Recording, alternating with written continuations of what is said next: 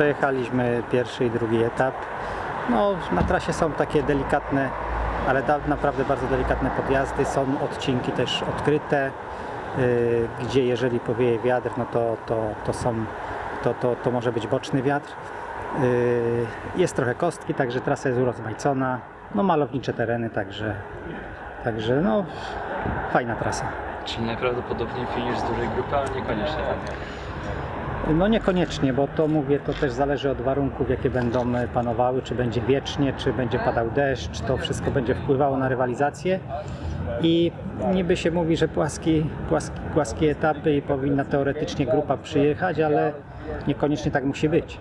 Do, do tego na pierwszym etapie e, wyścig kończy się na rundach, trzy rundy. Przejeżdżamy przez rynek też, także na pewno trochę kręto, trochę kostki, trochę, trochę y, zakrętów.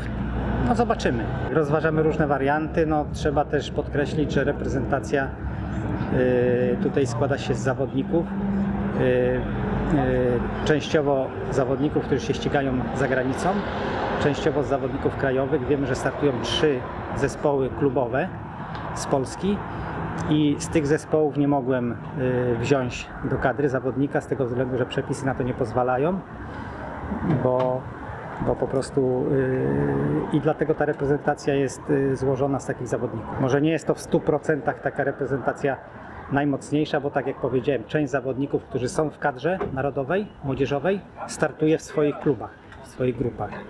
Także Także to jest tak jakby trochę rozłożone. Cel dobrze się zaprezentować, walczyć od startu do mety yy, i, i zobaczymy co wyjdzie. To jest sport.